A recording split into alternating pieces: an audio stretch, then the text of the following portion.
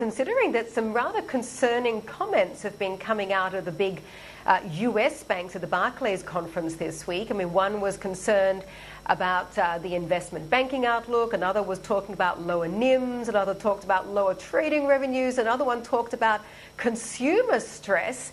Is all of this new news, and how concerned should we be? Uh, we should be very concerned, I'd say. Uh, again, I, am trying not to paint a doom and gloom picture. But again, the fact that the US and the feds themselves, as we speak, are pushing back uh, on the Basel III endgame, as we call it, uh, should be a concern. It was actually the US that started this, this global meltdown, if you recall, just 15 years ago in 2008 and we are back at that exact same juncture.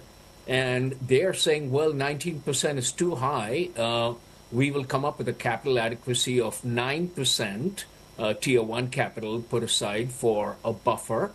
And I think that's dramatically low. They call themselves very robust right now, but they're anything but that. So it is a concern for sure.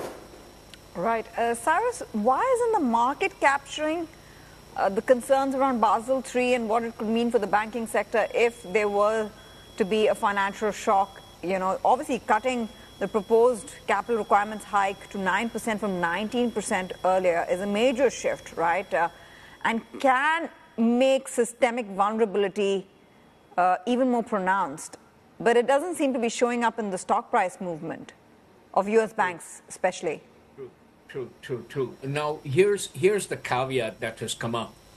The capital adequacy rule is applicable to all banks, but the pushback is coming from the banks that are 250 billion and above, which means all four or five of the big banks in the U.S.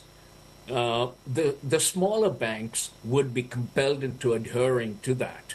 Uh, you saw Silicon Valley Bank that that kind of imploded just last year that took away almost 300 billion from the market.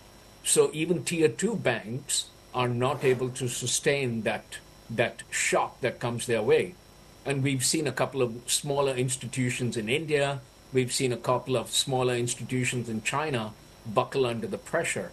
So I think this broad uh, Bank of International Settlement regulations that have come around saying, mm. look, if you are 100 billion and above, you're systemically vulnerable and you can bring the country down, you can bring the region down. I think it's a valid argument from BIS. Mm. Institutions that are pushing back claim that their trading books are separate, their mm. risk taking books are separate, their property is separate and so on and so forth. And I think it's just funny money, honestly. Uh, we mm. in Blackstone actually have been monitoring that, sure. and we blow the whistle very quickly.